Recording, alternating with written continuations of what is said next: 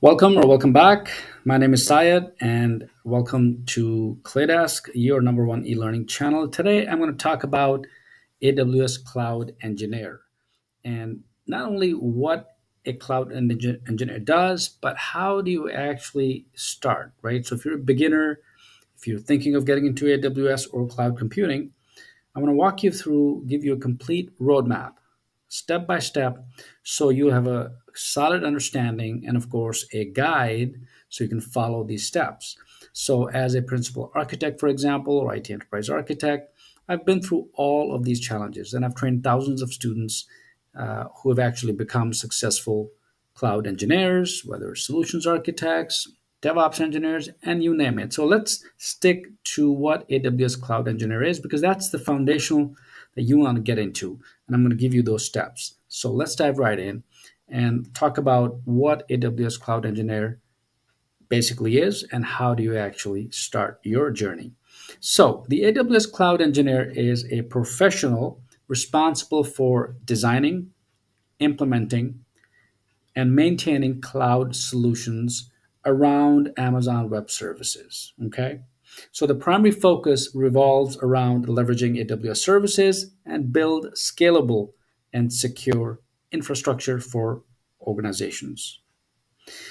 The responsibilities of a cloud engineer are mainly, I'm going to focus on the high level responsibilities so you know step by step what to look for and how to prepare your journey getting into cloud. First is designing AWS architecture.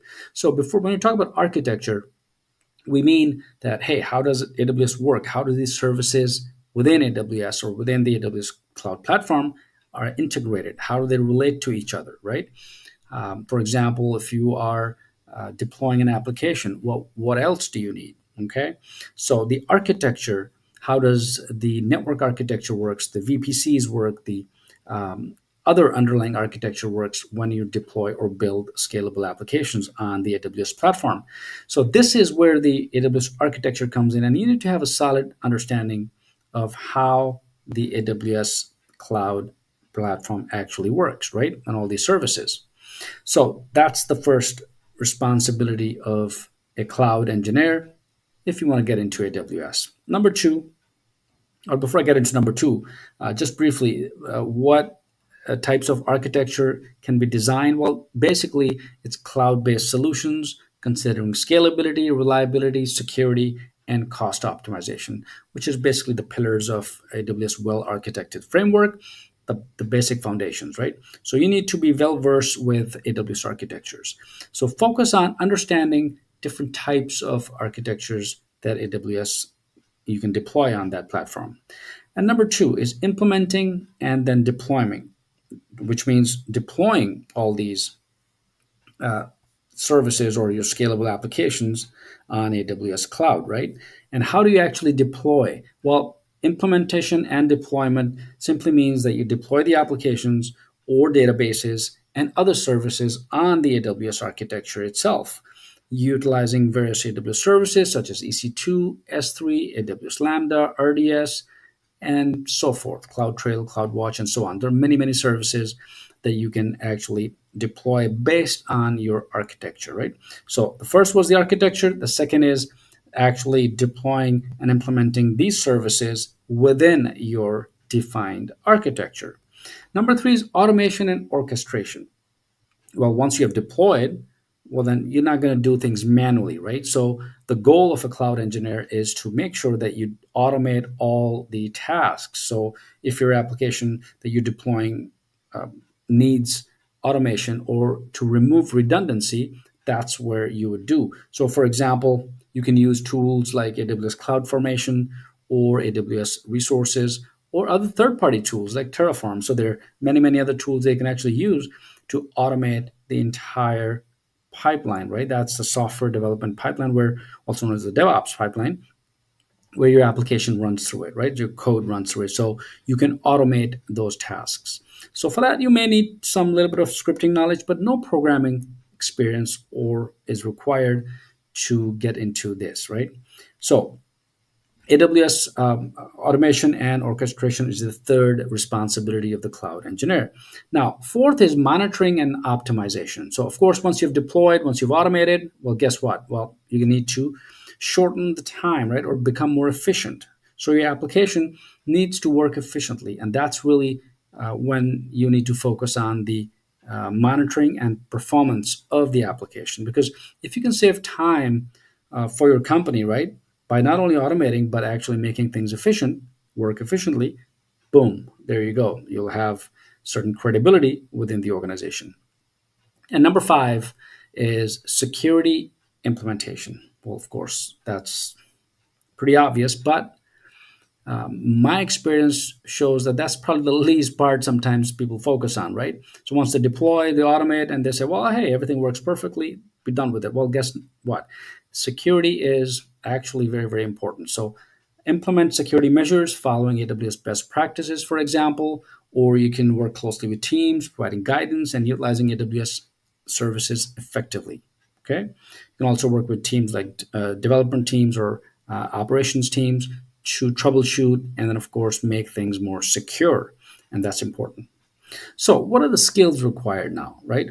So, once you understand the roles and responsibilities of a cloud engineer, well, how do you actually start? Where do you start? How do you get into? What skill do you actually need um, to get into it? Well, number one is AWS proficiency. So you need to get log on to the cloud platform. AWS has a free tier account.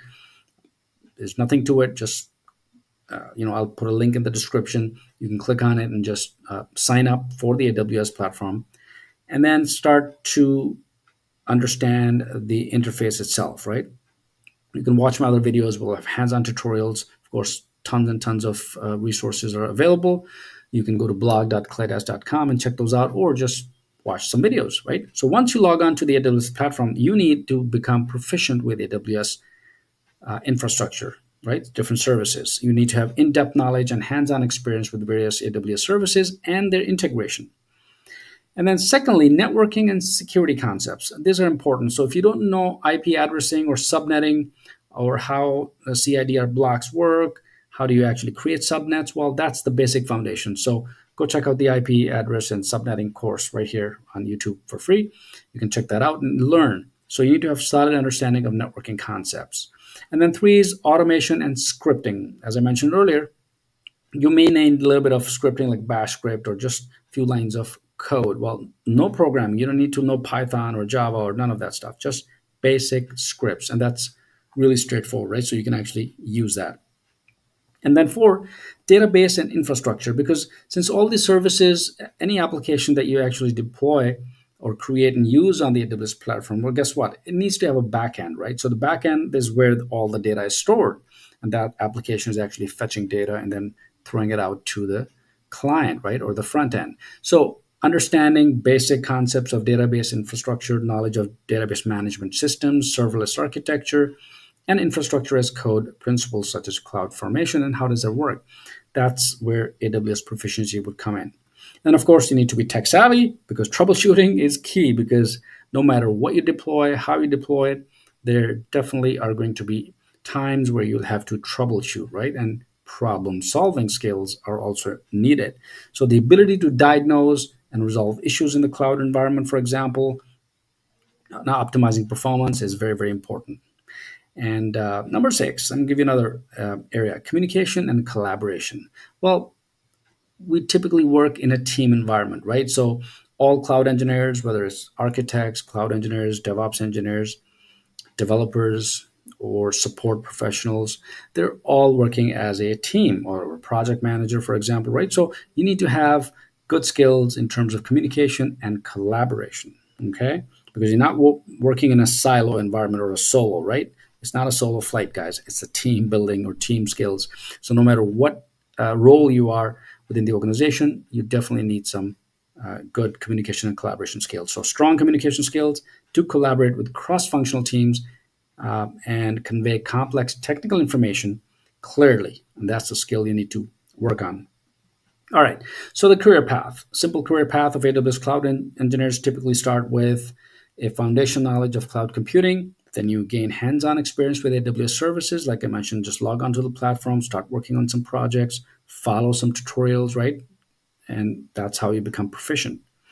So, and next, once you have some proficiency, then you get into getting certified. So you become a certified cloud practitioner, certified solutions architect, whether associate or professional, certified DevOps engineer, um, security specialty, and so on. There are many, many certifications that you can actually look into based on your own, you know, area where you want to be, how do you want to go, and which is uh, something that you really like. Whether if you're into security, well, guess what? There's a certification for that. If you're into architecture, well, there's a certification for that as well. So you can become a solutions architect, right?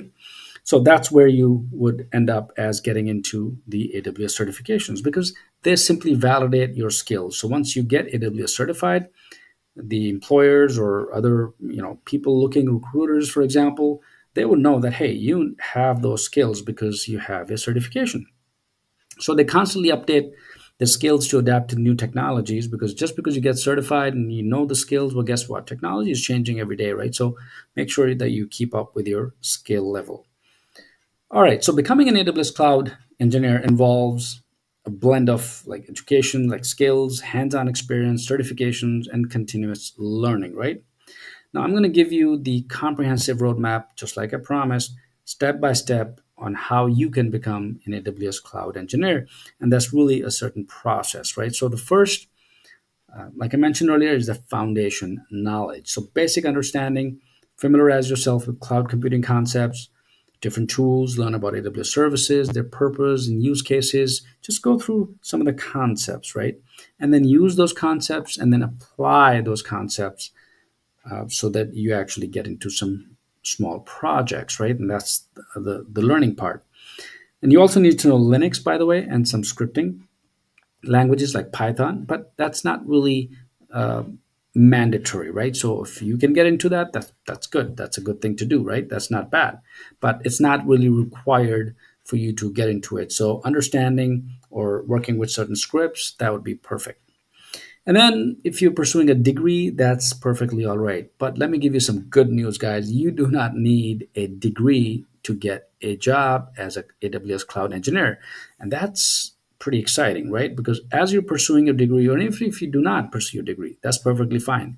What's important is the skill or the skills that you actually are getting and the hands-on knowledge that you're getting so that you can apply. And on top of that the aws certifications right? Because getting certified certified is actually telling everyone that hey you you have those skills. So a, a degree is not required. But if you're pursuing a degree that's pretty good right all right, hands-on experience. I cannot say, you know, more about this because hands-on is key to learning, just like you learn to drive a car, right? So unless and until you sit in the car and drive, uh, you will not know how to drive, right? So that's exactly how you would get into AWS uh, platform. You do some projects, you learn, you watch some tutorials, you watch some video, you take some courses, and, and of course, everything is available here on this channel where you can have full courses for free that I've created in right here on this channel. So whether you want to become uh, AWS cloud practitioner or a solutions architect, boom, you're in the right place. All right, check those out when you get time. So hands-on experience is practice projects, create an AWS free tier account, and start working on projects. Build simple applications, deploy them using AWS services like EC2, S3, RDS. Experiment with automation tools like CloudFormation and third-party tools like Terraform. Once we have those basics, then get into getting some internships or entry level jobs, right? And apply uh, for those jobs, um, create yourself a nice resume, um, and then, of course, reach out to recruiters on LinkedIn. That's a, a very good platform to actually network with potential uh, employers. AWS certifications are, of course, uh, a key because, boom, you have the certifications, everyone would know that you have skills already, right? So these certifications basically delve deeper into the designing and implementation, uh, advanced to certifications like AWS Solutions Architect Professional or AWS Certified DevOps Engineer, right? Professional, these certifications validate expertise in designing and implementing scalable and deploying those applications on the AWS platform. So once you gain expertise in specific AWS uh, services, for example, related to your chosen field, whether it's security, whether it's architecture, for example, make sure you're continuously learning, you're reading the documentation, you're doing additional projects, and of course, real world projects would also be very, very helpful.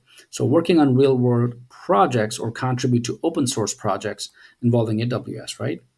And as you're actually uh, doing this, right, document your experiences. Make sure you're documenting, you're writing stuff down, you're writing your projects, you're writing steps, and because these steps would help you um, at later stage because once you are into a certain real life project you would have some notes for yourself right? So these are really really helpful uh, because you can always refer back and you don't have to remember all of these that you do right? All right so i talked about certifications uh, continuous learning and that's really what it is. So remember the key to success in cloud engineering field is a combination of theoretical knowledge as well as practical experience, continuous learning, and a passion for innovation in cloud technologies. So, this is the roadmap they're going to actually follow to become an AWS cloud engineer. I hope this helps. Let me know if you have any questions. Post your questions in the comments down below. I'll be happy to answer if you have any specific question. Um, I'll be more than happy to answer and then guide you through the process. My name is Syed. Thanks for watching, and I'll see you guys next time.